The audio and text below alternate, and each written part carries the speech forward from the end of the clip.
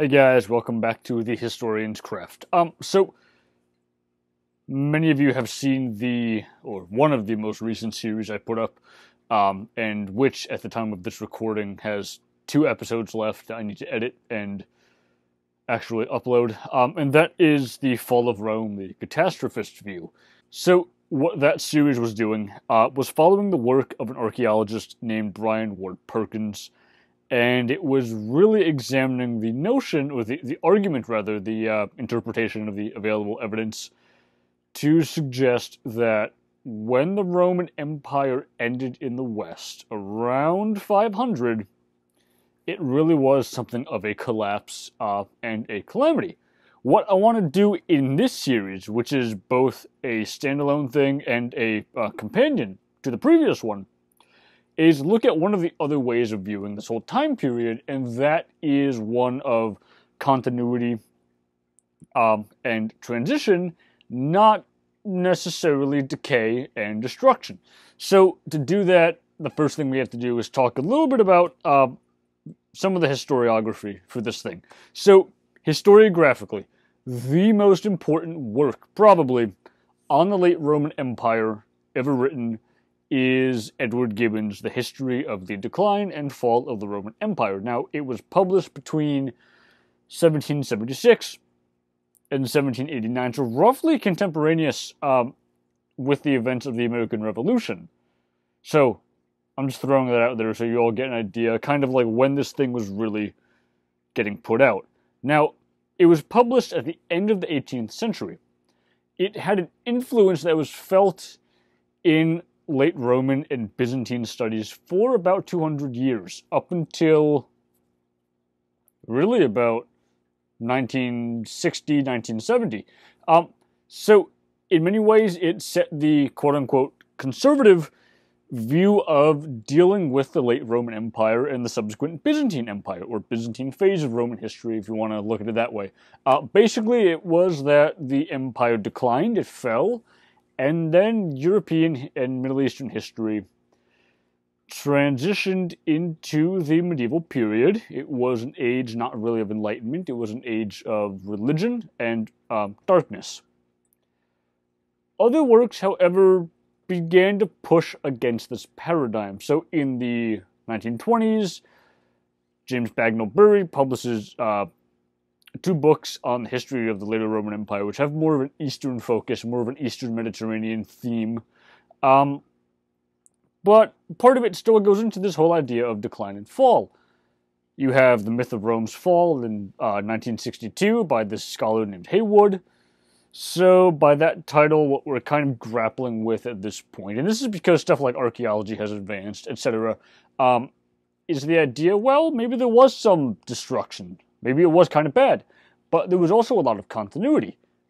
However, this whole idea of transition and continuity, not decline and fall, really gets its start with um, the publication of Peter Brown's The World of Late Antiquity in 1971. So, as a counter to Ward Perkins's The Fall of Rome and the End of Civilization, what this series is going to be doing is largely moving through the world of late antiquity, in addition to some other books, um, to examine what continued from the Roman period into early and high medieval Europe.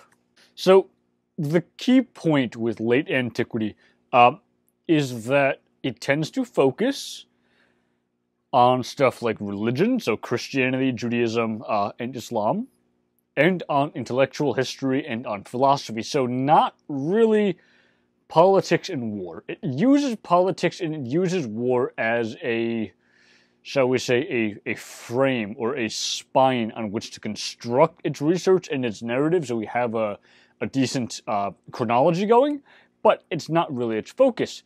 The key point, though, is that you can read a book on late antiquity, and for example, Peter Brown's The Rise of Western Christendom, which is up here somewhere, um, does this. You can read a book on late antiquity and able to read a continuous narrative of Roman history from about 200 to about 700, 800, 900, 1000, depends where you want to put the cutoff date. Um, that does not really include politics, war, or sharp breaks or destruction, but still makes sense. So it's possible to view the period as one of transition. This is something that's not easily done with other historical time periods. So, for example, you can't write a history of Europe in the 20th century without World War I, World War II, or the Holocaust.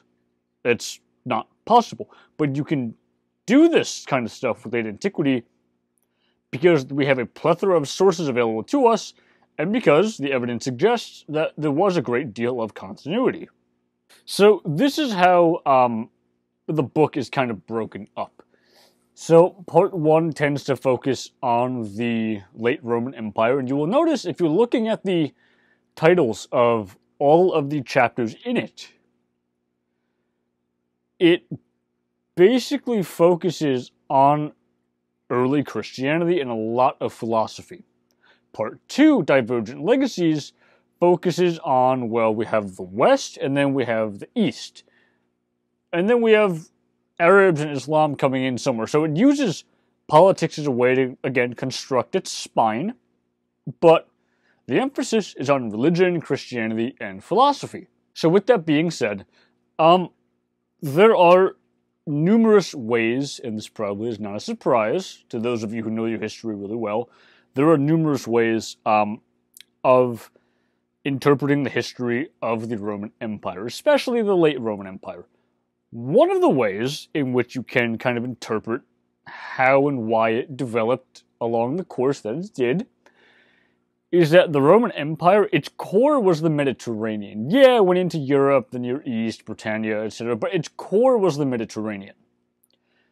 It expanded around that sea to absorb and thus to protect um, what we basically understand to be like classical civilization or the classical world. And in, in doing so, it unites, you know, broadly similar cultures Greek, Roman, Hellenistic, uh, Judaic, Egyptian, etc. So all of these were broadly unified by their geography, centering around Mediterranean, um, shared history. They had a shared history of interaction and, and uh, diplomacy. In many cases, especially after the era of Alexander, non Greek areas were governed by Greek dynasties, by Greek families. So, uh, Ptolemaic Egypt, for example, is a pretty strong one that comes to mind here, with Cleopatra and everybody else. So, all of these areas are broadly united by shared geography, shared history. So, in many ways, their life was similar. Uh, they ate similar foods, olives, wine, etc. They have similar deities. Uh, there are similar government types. Some of the city states have republics or democracies. Some of the city states have monarchies. Some of them are not city states, but they have monarchies, etc. And it's further unified by the impact of Hellenism and the Alexandrian conquest. So the issue, though, is well, once Rome, once Rome conquers this region, the Mediterranean, and you expand out into Europe, into the Near East, how do you maintain this culture, this lifestyle based on the Mediterranean once the empire is no longer focused on the Mediterranean? Like once it expands into Gaul and Britain, how do you do that? This is the main issue here. Um, so the late antique world inherits this classical legacy, this idea of classical civilization, and it inherits this problem that classical civilization was trying to deal with. And as we're going to see, the late antique period tackles this question in its own somewhat unique way. Another way of interpreting late antiquity, well, not necessarily late antiquity, um, classical civilization, ancient history in general, especially the Roman Empire, is via population statistics. Now, mm, that's not to suggest we have a lot from antiquity. We really don't in terms of um, stats from the ancient world, but the generally accepted ratio by scholars is something like 10 to 15, although some would maybe put it as high as 20 uh, percent of the population lived in cities. Something like 85 to 90 percent lived in the country. So you can view this period or this world as one in which cities predominated and one in which cities every year ransacked the country to feed themselves and left everybody else to starve. And because the cities survived, not these poor farmsteads, um, the legacy of Rome is one in which, according to Peter Brown, and I think he partially hits the nail on the head here, it's one in which the smaller number of people, so city dwellers, left their mark on Europe, and associated with this is the, you know, unsurprisingly, the, the cost of food.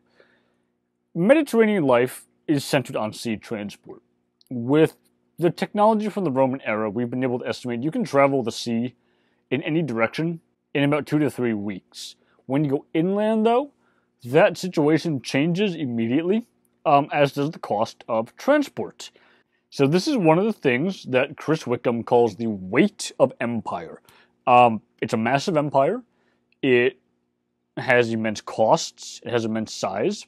Because of that, it moves and it changes relatively slowly. Yeah, there are wars and upheavals, but culturally speaking, it's a behemoth that kind of moved like a glacier. But when it moves, you know it moved. So, just going along with everything I've said so far, what I've done is I have kind of tabulated a list of as many cities as I could possibly find founded by the Roman Empire. So, I'm doing this so you all can get an idea of one, how long lasting the civilization was, and two, simply how much construction and how much engineering this civilization did. This was really quite a monolith. Now, once you get past the sea and you're inland, um, yeah, you have some roads that connect the empire together, but it's not completely connected together. Mediterranean cities, uh, they're pretty closely connected. They're within relatively similar geographies, and they can get the items they need, whatever it is, from all over the region. The inland towns, not so much. There are roads connecting them, uh, but they tend to be spread somewhat far apart, at least in comparison to the Mediterranean cities, in drastically different geographies, and because of that, they usually get their goods from a radius of something like 30 to 40 miles. So, the Roman Empire then was always characterized by dualism towns versus cities, Mediterranean versus continental Europe, and then in late antiquity, it's going to be paganism against um, Christianity. So, the book which we're pretty much following for this series, The World of Late Antiquity, is broken up into nine chapters. Hypothetically, I could then break this up, um, I guess, into nine different videos. However, I thought a lot about it, and I decided that I'm not going to do that uh, because the topics are complex. So I think they're going to get better treated in shorter, much more uh, numerous takes. So, this series, like I said, is going to be a counter to Ward Perkins' um, catastrophist viewpoint. And after this, after we get through the catastrophe viewpoint and the continuity viewpoint, we're going to get into another way of understanding the end of the Roman Empire, which is that it accidentally offed itself. That's going to be a somewhat bigger series because it's not necessarily the domain of like one major scholar. It's a whole bunch of people kind of working together collectively to propose that idea. Um, so the catastrophe viewpoint, like I said, focused rather heavily on archaeology, politics, and war. This series is going to be more along the lines of religion, art, and culture. Um, so this has been the introductory video. Um, until the next video, guys, take care, and I will see you all then.